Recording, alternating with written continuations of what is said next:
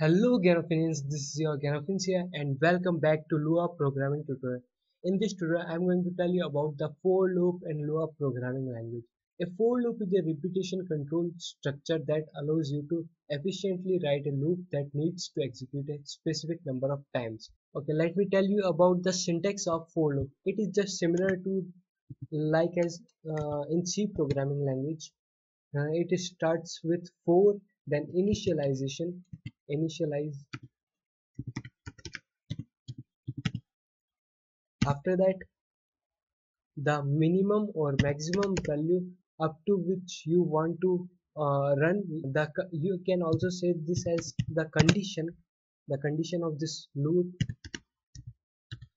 When the condition of this loop will become false it will terminate and then the increment decrement operator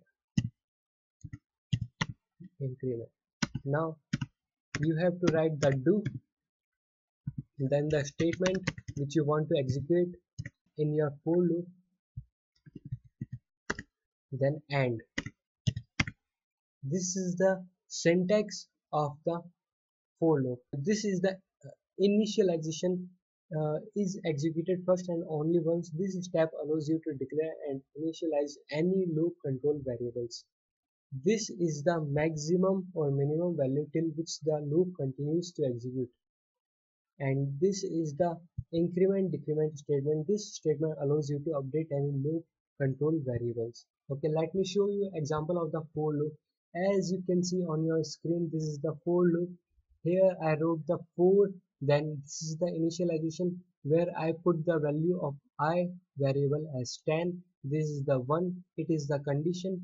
Then after that it is minus 1 uh, it will decrease the value of uh, i equals to 10 by minus 1 regularly. And this is uh, do print i and.